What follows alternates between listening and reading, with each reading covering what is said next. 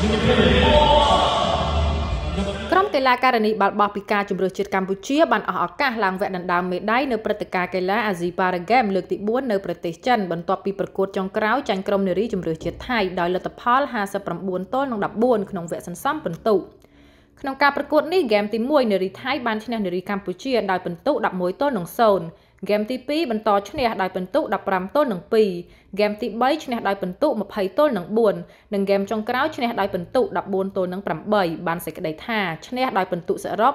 59ទល់នឹង14ក្នុងវិញ្ញាសាបាល់បោះនារីពិការដែលមាន6ប្រទេសចូលរួមប្រកួតគឺកម្ពុជា ចិន អ៊ីរ៉ង់ ជប៉ុន ឡាវ និងថៃ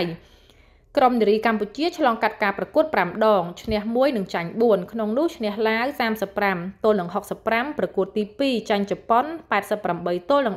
18ប្រកួតទី3ចាញ់ចិន28ទល់នឹង88ប្រកួតទី4ចាញ់អ៊ីរ៉ង់42ទល់នឹង47និងប្រកួតចុងក្រោយដោយបានជម្រាបជូនមុននេះចាញ់ថៃ59ទល់នឹង14